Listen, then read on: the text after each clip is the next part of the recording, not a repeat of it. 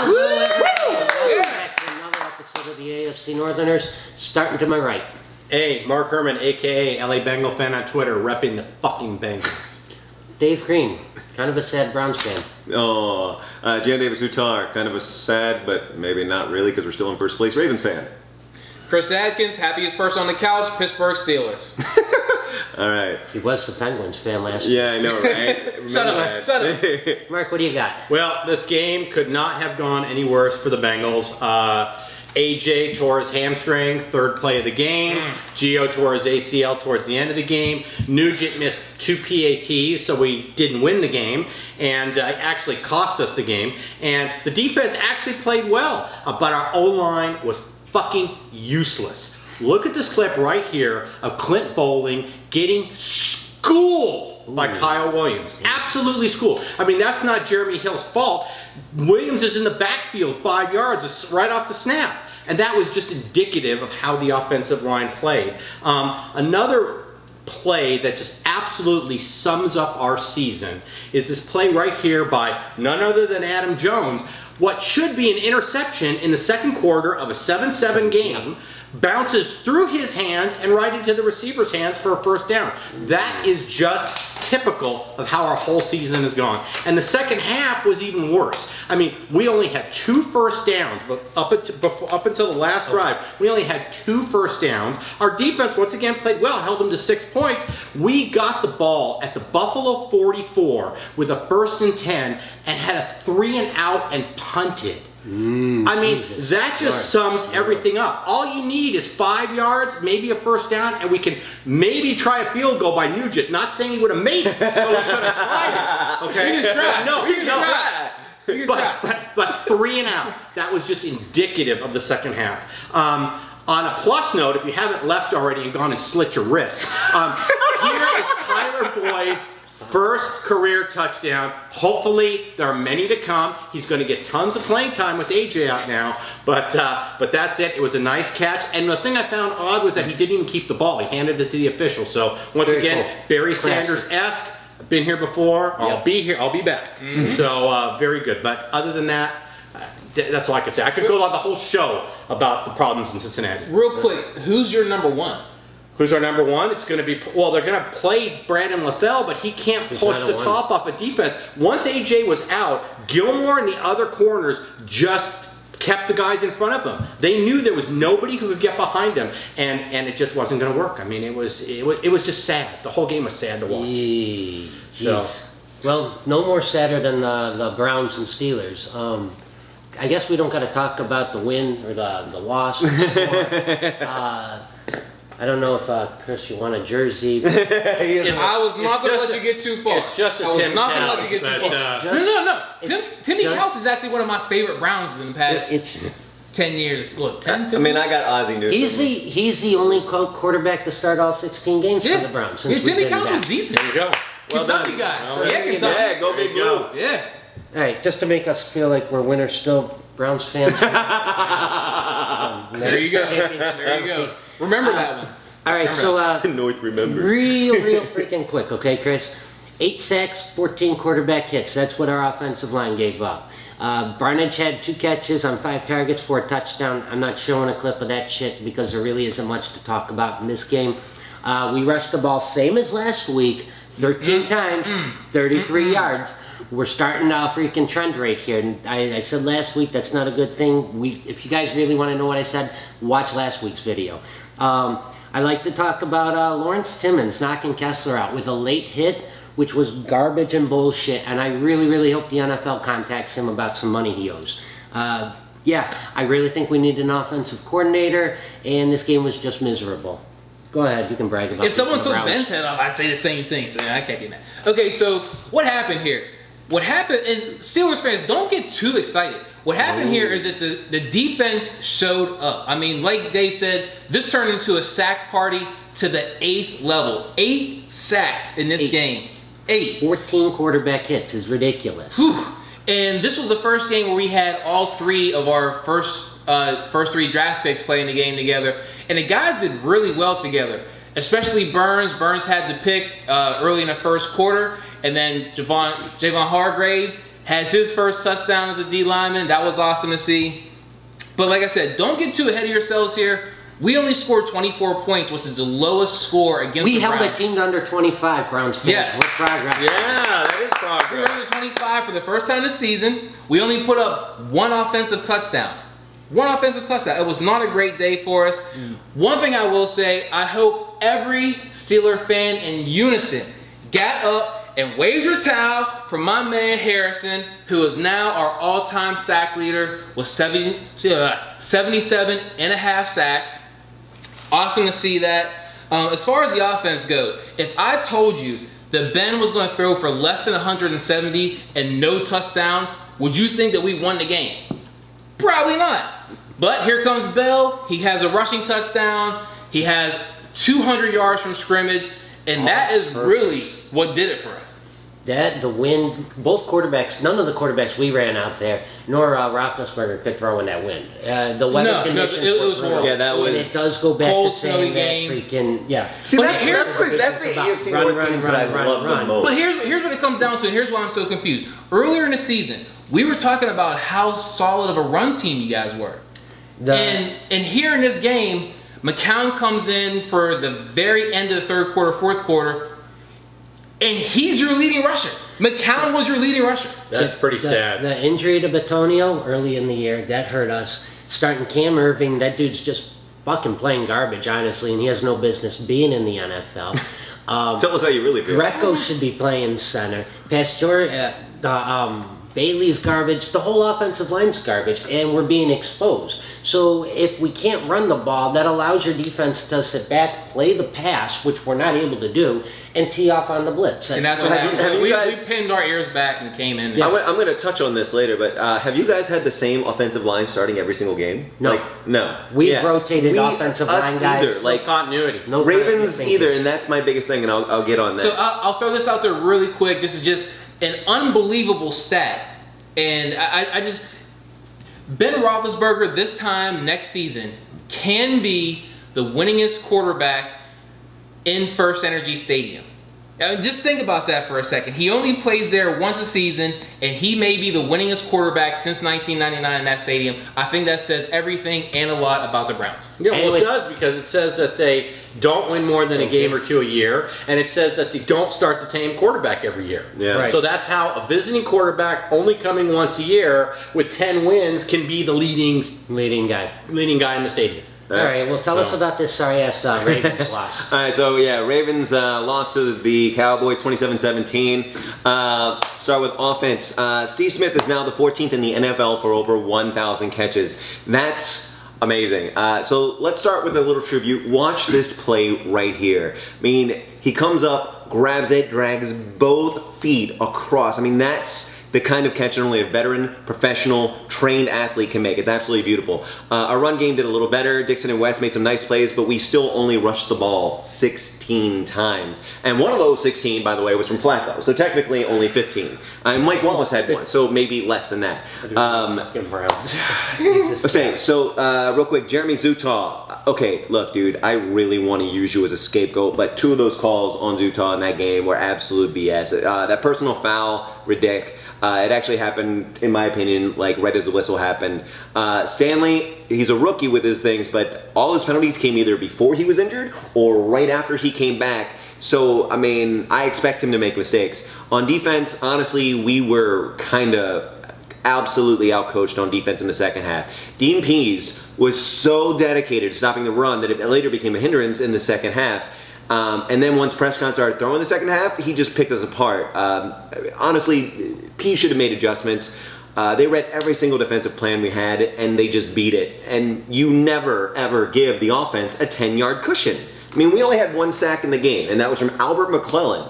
So, meh. Uh, one caveat, something that, um, looking at the stats today, kind of realized, Dallas had eight receivers, including two running backs in the game, right? We had six receivers, which included one running back in the game. They genuinely had more weapons to throw to and spread the ball out way more than we could. All right, so without Jimmy Smith, our secondary is, I mean, we all know this is our weakest point. Dez and Witten just waltzed up that field in the second half. And I know that we don't quote unquote draft for need, but we need better corners, Ozzie. Um, honestly, we were just beat by a better team. Um, the only other thing I gotta say is fuck you Cowboys for that eye poke to Joe Flacco. Fuck you, that's bullshit.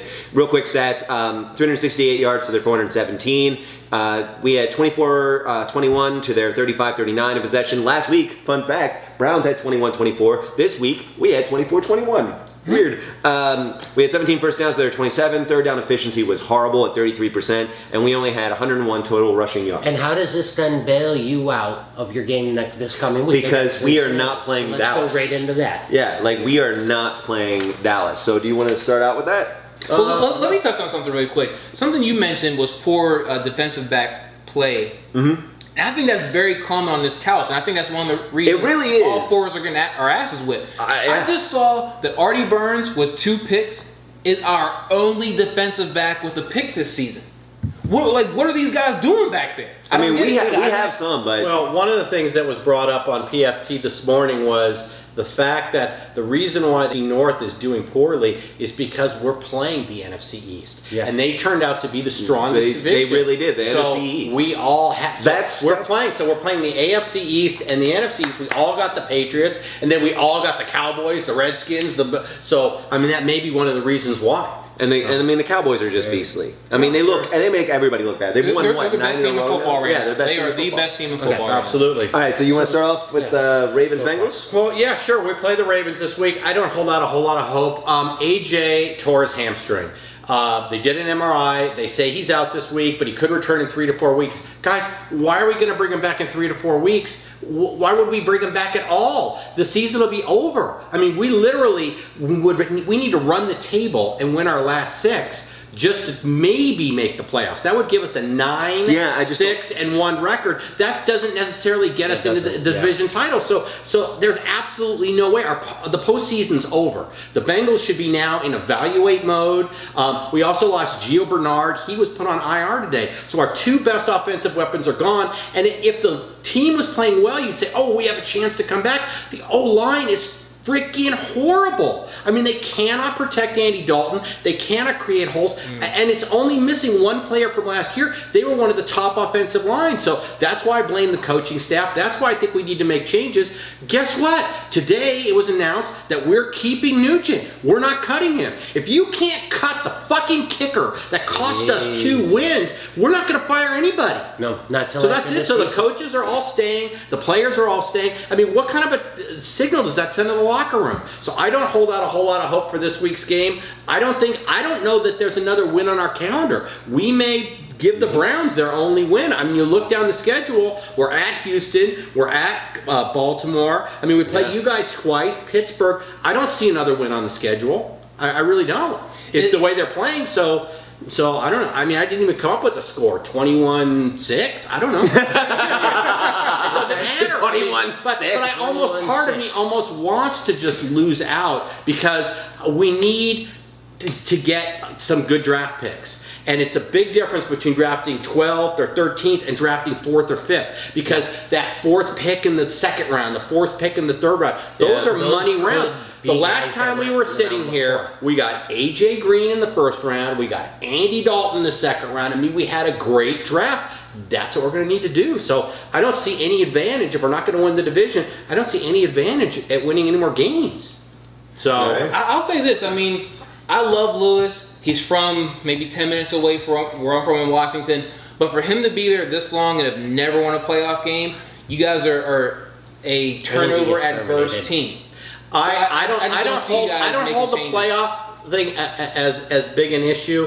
Um, a lot of it has just been timing. We've peaked earlier in the year. My big thing is the way the team looks now. I mean, they're underachieving, and I got to tell you, this will be one of the most coveted coaching jobs if we fire Marvin Lewis. You've got a quarterback already in place. You've got AJ Green already in place. You've got Tyler Eichelon. The core is there. You've got a deep roster. You've got a defense that can play. I mean, this would be, and you've got nowhere to go but up. I This wonder would if Jackson huge- is now kicking himself. this would be this would be a coveted coaching job. All right. So, like I said, it's uh, but that's if it becomes a coaching Yes. job. Yeah. We don't know. So, So, All right, so uh, start on the Bengals. I mean Ravens. Um, Yeah. So uh, we're fresh playing off the last from Dallas. Uh, we face a, as he said, beat up AJ Green and Gio Bernardless Cincinnati. Uh, so how does this play out? Um, I mean, the first week after a big injury is always like the worst. Um, Bengals had two though. Uh, and weren't really performing above average before that to begin with. So it's hard to see the Bengals O-line denying Timmy Jernigan, who's got five sacks, and Terrell Suggs, who's got four. But we still have a top five defense, and they and we still have players that can destroy our secondary on the Bengals. They still got players that can do stuff. So let's touch on that. Uh, Bengals are three and six uh, and one this season, uh, but they are one and four on games away this year. Uh, they're coming to our house, and we gotta get after their pass. We gotta bring that pass rush, which brings me also to uh, a theory that Marvin Lewis has simply exploited our secondary since Ed Reed left. Jimmy Smith wasn't healthy most of last year, um, so he wasn't concerned. And we don't even have many DBs from last year at all. We're, we're smaller, we're not as robust as like a gazelle like AJ Green, but he's out. And we have a much better shot with him out, obviously. I mean, we can double team Eifert, make Boyd frustrated. If we can do that, we're going to dominate. Uh, now, I want to send a great big thank you to uh, Super Saiyan Sandwich on uh, the Ravens subreddit for this here, our bottom line. According to all the research he did, and he did an amazing job, we're third in offensive line penalties. Third in the, in the league. We've got 26 for 234 yards. The vast majority is for holding. And this goes back to what I said earlier that Zuttah is leading that with five drives killed due to penalty. Now, I get it, some of those are bullshit, but we may actually lead the league right now in drive killing penalties. Like, there's no data yet for me to collect that, but like, we were talking about it. Uh, so just let that sink in. We may lead the league in drive killing penalties. Um, we have no consistency on our O line. We haven't started the same players as I was saying. You haven't either all year, uh, and we just can't keep switching up. We're still abandoning the run when we're down. We still can't seem to keep from fucking throwing below the line of scrimmage, behind the line of scrimmage, for some stupid reason. And I mean, honestly, seriously, tear that play out of the playbook. Get rid of it. I never want to see it again. Um, honestly, if our if our Ravens really, if the Ravens bring it, they bring the defense, and uh, we we do better on offensive line. We actually gel. This could be, I mean, honestly, a blowout, but I don't think it will be. I think we're gonna have our problems. I'm predicting Ravens 2013. 2013. Yeah, like that gives you Nugent twice to make a field goal. Nugent. I, I, my six was a touchdown and Nugent misses the extra point. That was my six. But, oh, you know. God. Jesus. Jesus. All right, so uh, the Giants come to Cleveland on Sunday. It's a 1 o'clock start. The Giants have won five fucking straight. They sit at 7 and 3. They're, they're looking dangerous right now. They're getting dangerous. Yeah, yes, they are. Uh, they give up 20 points a game and they average 20.4 points a game. The Browns, on the other hand, we get 16.7 points a game and we give up 29.5. Uh, the guys you got to watch out for with New York, it's going to be on defense Jason Pierre Paul and Landon Collins. On offense, you got to watch both the wide receivers, OBJ and Shepard. I, I honestly I don't see a lot of chance here for the Browns, especially with the way we're playing. We're going to run out to uh, the Statue of Liberty, McCown, on Sunday. Uh, this is looking like it's going to be a 30 to 13 beatdown of the Brownies at home. You know it's perfect that the Statue of Liberty says, "Give me you're tired, you're weak, you're poor." You know. Maybe you That, should was- say that may have been the dirtiest dig I've ever had. I'm sorry. I'm That was sorry. so fucking cheesy. That was so bad. Let I'm me sorry. wait. Since It's getting uncomfortable on this couch. It's to the point in the season where it's getting the- It's getting uncomfortable really this couch. Since the Ravens guy wants to take a shot like that at the Browns, let me remind all you Baltimore fans that you guys only average 19 and a half points a game. Which Thank you. allows us, uh, there's like a five team difference between what we average a game and what you guys average No, you're game. you're completely So, right. We also like, don't put on job day. affairs, but um, Go fuck yourself. I I mean, that's serious. They were offered a fucking damn ticket. This lame ass, how this angry lame, this lame ass chick who wrote this stupid ass article for the Onion or the Orion No, was fucking ju- it was for fourth Deadspin. magazine refused to talk about anything positive that the Browns did. We've donated food to the food bank. We've given shoes and clothes to the kids in the inner city. We're rebuilding five fucking football fields along with giving brand new equipment. You name me something that the Baltimore Ravens are doing Uh, I can- I can outside of actually- sucking fucking. so go fuck drop the sip between you two. Drop the sip between you two. Pittsburgh, why don't you tell us what's going on in New York this week? All See, right, so- fans, well, fan base more pathetic than us. There you go. Right here. And I stuck up for the Bengals. All right, so I'm gonna take a, I'm gonna take a page out of Mark's book here. I don't know what I'm gonna get this week. I don't know if I'm gonna get Shit. fruit cocktail or if I'm gonna get beans or what Mixed is vegetables. Canned Who knows? corn. I don't know what's gonna come. we all know the score. Please. It looks like uh, it looks like Luck may have to sit this one out. He's in proto he's in concussion protocol, and unfortunately, this is a Thanksgiving Thursday game. He may not make it in time, which means I don't even know the guy's name. Uh, uh, Scott Tolzien may throw his first pass since the 2013 season. Yeah. We'll see how that goes. If Tolzien plays, I expect to beat the hell out of him. Okay. And like I said, I mean, we know the Colts. The Steelers have outscored the Colts 96 to 44 in the past couple seasons. We have beat the shit. hell out of them, including like a 50 something point game two Dude, seasons fuck ago. the Colts. Fuck the Colts. I don't know what's the going on with Colts. them. Fuck They the have been plain old ass the past couple seasons. But let's not get too ahead of ourselves. Like I said, we only had one offensive touchdown against the Brownies. We dropped five easy, easy interceptions, and Artie Burns is really the only guy back there getting interceptions. I mean, this game was not indicative of what's going on. Luckily for us, this was the first game since Cameron Heyward was out. He, our D line wasn't really exposed, but that may not be the, the case here. I mean, Frank Gore, he's gonna he's gonna come out there and gash us a couple of times. I'm not expecting this to be as easy of a game. I do think the Steelers are going to take this one probably high end 31-17.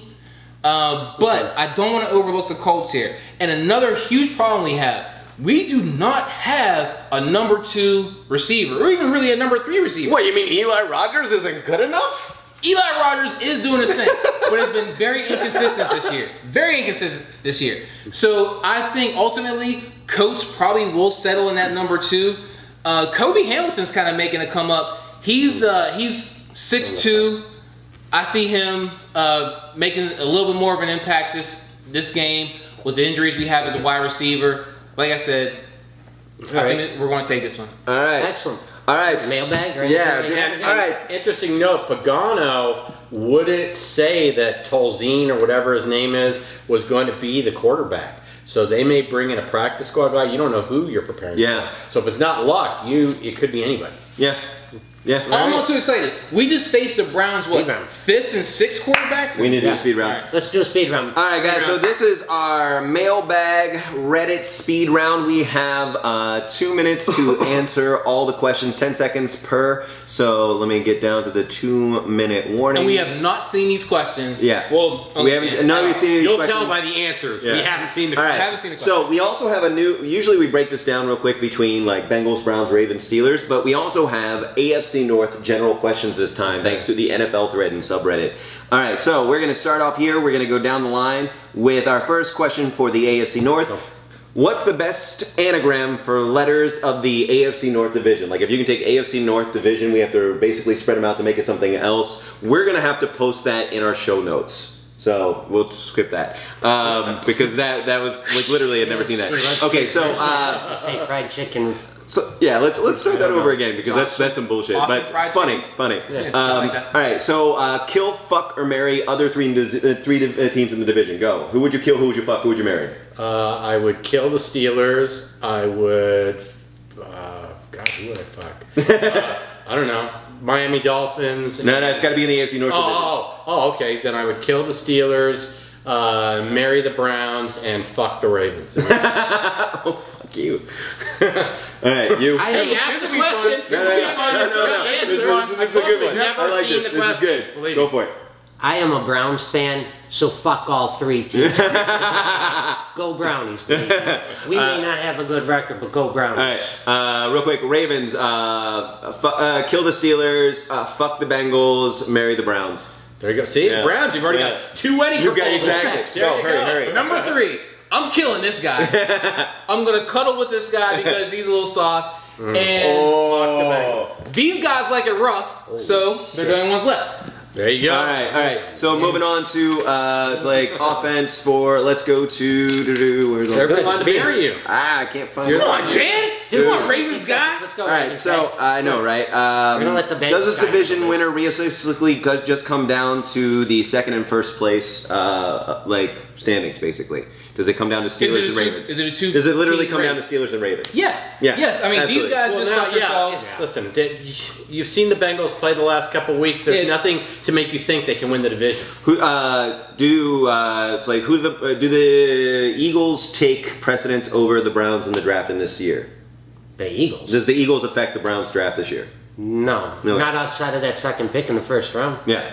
Um, I would say, let's see, we got 10 seconds. Uh, okay, uh, bu- bu- bu- bu- uh, thoughts of officiating thus far? It's bullshit. We can't even fucking Garbage. figure out who's in bounds. It's been some shit. It's just like every other year. I mean, we're just getting No, closer to the been- game. it's been- I think we're just getting closer to the year. game. Yeah, alright. They've cost games this year and changed outcomes. It's Alright, we had a All right. ton of questions. I'm sorry, guys, we couldn't get all to them. Uh, the, the only other Bengals question that was amazing was one person posted, Why? Why? Oh, I'm telling you, it's just sad. All right, so It is. uh, All right. we got any new shout outs, any subscribers? Yeah, uh, anything we want to that's say like thank what you we to our start off? newest subscribers, uh, Sip Nasty. Thank you. Um, Emin Nalbandian. Thank Hopefully you. I'm saying that. And Sean Thomas. Thank you guys Thank so you. much Whoa, for whoa! subscribing. Sean Thomas might be my homeboy from high school. I gotta check that out. He might be my homeboy from. High- Hey, Sean, if that was you. Appreciate it. All right, guys. Uh, I think we're good here, guys. let's- Make sure yeah. that you send us your questions to afcnortherners at gmail.com. Uh, or you can also post it on uh, Reddit if you're on there as well. Hit us up on Twitter with the hashtag mailbag. Uh, and also Facebook, same thing. We love getting your questions. We make sure that we put them on every single time. Yeah. Um, and uh, Let's think sign it off. As we always do with Fuck the Patriots. The Bye, everybody. Bye, guys. guys.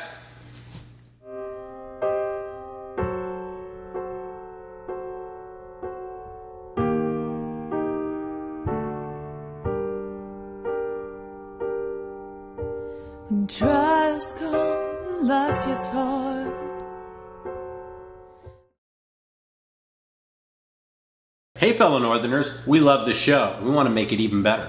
You may have noticed we started showing game clips, and we have even more planned for you guys. So we need your help. We started a Patreon page to bring you our show commercial free for less than $5 a month. For less than the price of a Grey Barbarian Knit Octopus beanie on Amazon, which is actually a thing, you should look that up, you can help make this show even better, including instant reactions to each game, a weekly podcast, in-depth analysis, and much more. If you want to help us improve and you can spare a little change, go to patreon.com forward slash AFC Northerners or click in the link below in the show notes to subscribe. Exactly. We appreciate every one of your views, your comments, and your emails. Thanks for watching, and as always, Fuck the Patriots! Thanks, everybody. Thank you guys. Look at me! I'm Dr. Zoidberg!